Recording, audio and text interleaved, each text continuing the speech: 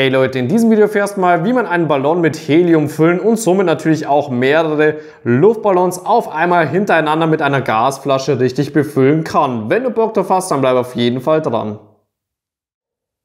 Ich habe mir mal eine Helium-Gasflasche zugelegt, welche laut Hersteller für ca. 30 Luftballons reichen sollte. Natürlich, desto größer die Luftballons werden, desto weniger Luftballons haben wir am Ende natürlich auch mit Helium gefüllt. Und wichtig ist auch noch, dass unsere Ballons auf jeden Fall für Helium geeignet sein müssen. Bedeutet, normalerweise sind das dann auch Latexballon. Zwecks Schwebezeit schreibt der Hersteller hier oben auch nochmal je nach Größe circa 10 Stunden und man sollte auch darauf achten, dass man diese auf jeden Fall kurz vor dem Event befüllt, also so circa ein bis zwei Stunden davor.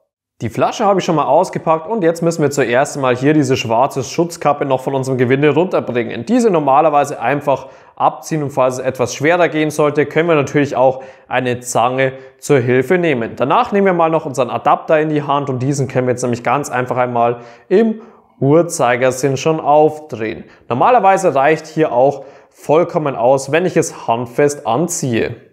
Im nächsten Schritt können wir hier oben unser Ventil mal komplett gegen den Uhrzeigersinn öffnen. Und hierbei ist aber wichtig, dass wir jetzt auf gar keinen Fall irgendwie an unseren schwarzen Adapter hinkommen sollten, denn dieser lässt jetzt normalerweise auch kein Helium durch, außer wir knicken ihn in eine beliebige Richtung, dann öffnet sich automatisch hier drin nämlich dieses Ventil und lässt das Helium aus der Flasche in den Luftballon reinströmen.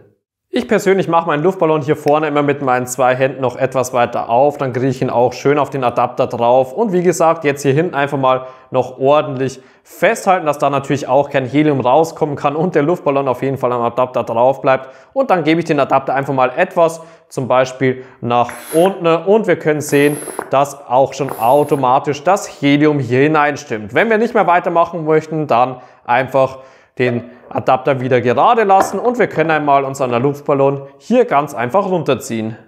Die optimale Größe für die richtige Flugzeug ist übrigens so eine Art Eierform und danach können wir auch schon ganz einfach einen Knoten hier unten reinmachen und somit haben wir unseren ersten Luftballon nämlich auch schon richtig aufgeblasen und können diesen ganz einfach steigen lassen.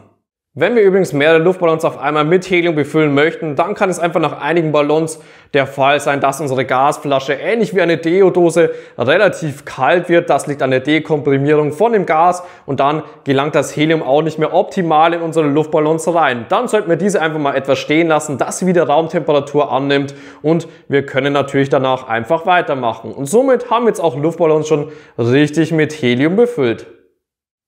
Wenn du dir für zu Hause Luftballons zulegen möchtest, welche für Helium geeignet sind oder auch gleich so eine Gasflasche hier, dann am besten einfach mal unterhalb des Videos in der Videobeschreibung auf den entsprechenden Link klicken und du kommst direkt zu den Produkten auf Amazon vom Markenhersteller.